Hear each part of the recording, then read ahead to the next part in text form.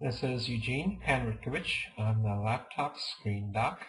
Name of the website is www.screensurgeons.com.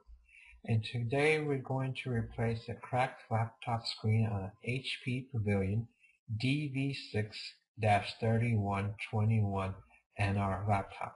Now there's a couple of different designs for the HP DV6. This is the newer model of the HP DV6 and this one has a nickel finish on the top cover and it's a little bit thinner. Let me show you what a older DV6 looks like. This is an older DV6. It's got a black plastic finish and also inside it's a black plastic finish. So the older one's a DV6-2180 US laptop. So the screen replacement procedure is totally different for those two laptops. So if you have the older one, I have a different video for the HP, uh, the older HP DV6. Just uh, search for HP DV6 on my videos and you'll find the older model. Okay, so let's get back to this one. I'm going to put the other one down without damaging it. Okay, this one, it's kind of tough. Uh, the reason it's tough is there's two screws that you need to get to down here to remove the plastic frame around the skin. Now typically with this kind of design for HP laptops we can use a small screwdriver to reach in those two screws and get at them. But the spacing for this one is really tight. So I've done it before where I reached in and got the screws out, but it was very difficult. So I decided it was not a good way to replace the screen on this one. So we went back to the more uh, more time-consuming method that HP recommends for this. So basically what you have to do is remove the keyboard, remove the top cover, and then once you see once the hinges are exposed you have to remove the screen assembly and then once you remove the screen assembly is when you can replace the screen. Okay, to remove the keyboard on top plastic cover, we have to look on the bottom of the laptop. First thing we need to do is remove the battery, which is already removed. Then we remove the this plastic cover that's in the middle. It houses the hard drive and the memory and lots of other components and we have to take out lots of screws. I already loosened the screws so where the screws are that you have to remove there's little orange dots there. So you can pause the video at this moment and go but one by one and remove the orange dots. So I'll pause it here for a couple of seconds.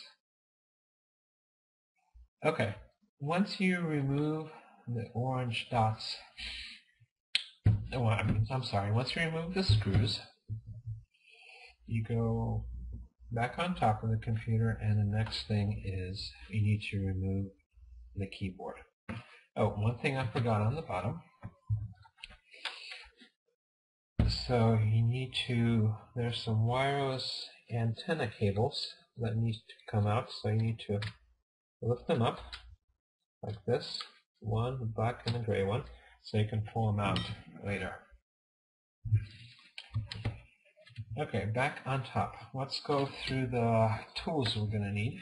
We're going to need an electronics screwdriver with a PH0 bit and a larger PH1 bit. We need some uh, metal tweezers and um, X-Acto knife blade to take off some screw covers. And the most important part for this job is some plastic prying tools. Uh, the one that you'll most likely find around the house is a guitar pick, or you can easily purchase at a music store. I also have some plastic prying tools that you can order on eBay. So we'll probably have to try a variety of those to remove the cover. Okay, so the first thing is get the keyboard off. We've already removed the keyboard screws on the bottom. And next we have to lift up the keyboard. The best way I found to lift up this type of keyboard is to use an X-Acto razor blade and try to reach in the corner. I don't want to damage the finish here. So we try to lift it up like so. And the keyboard's lifted up. Now we have a ribbon cable. There's a bar that we have to pull up like this. And once we pull the bar up, see if we get good. We just remove the keyboard. There's some adhesive there. And we put the keyboard aside. Okay, next we look to see if there's any more screws that's holding the assembly here, the top cover assembly. And I don't see any more screws, but we have to release some more ribbon cable connectors. I see two that we have to release. So we go three actually. One here, like so. Two. We use our tweezers to take the ribbon cable out. And there's a third one here. So we'll lift this one up and take it out.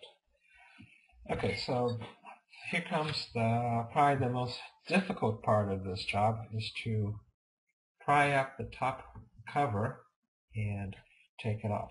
So we try to look for an opening and we go around with our tool and actually it's not as bad as I thought. So there's some adhesive here and it's off. Wow. So things usually don't work this way. Things are usually not easy, so you probably have a little bit more difficult time doing this, but if you loosen the screws on the bottom, it should come off. So just take your time on this. Okay, now next part is we have the bottom assembly with the motherboard, and we have the screen assembly. So next step is to remove the separate the screen assembly from the motherboard. And to that, we remove the screws from the hinges. And also, we disconnect the video cable. There's a label here, which we lift up. And there's a little piece of plastic that we can pull. So we just pull up like so. And disengage the video cable like so.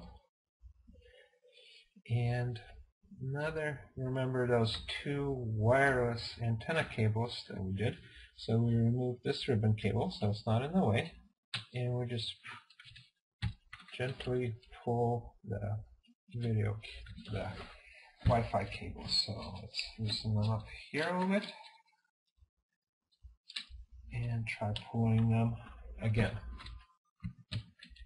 So yours might have small differences in design, so take your time. Okay, what I'm going to do is the DVD drive is blocking this. So what I'm also going to do is remove the DVD drive so as not to damage the Wi-Fi. So next to this dot here, there's another screw that's holding the DVD drive. So we take this screw out and take the DVD drive out and it comes out pretty easily and we put that to the side. Okay, now it's a lot easier to remove the Wi-Fi cables. One and two. Okay, so now we can take the screen assembly off from the bottom motherboard assembly. Okay, so the hinges are held by two screws here, which we remove. One. And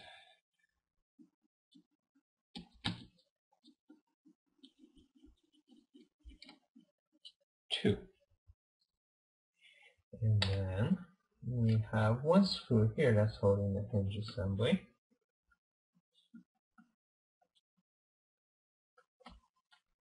and we remove that. Okay, next we lift up the screen assembly and it comes right off.